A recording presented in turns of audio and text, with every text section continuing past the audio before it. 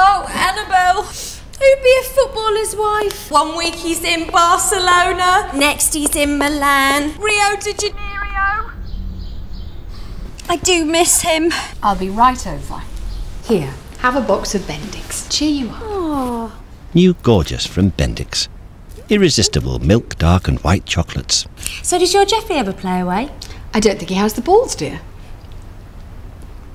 It's the Bendicks that counts.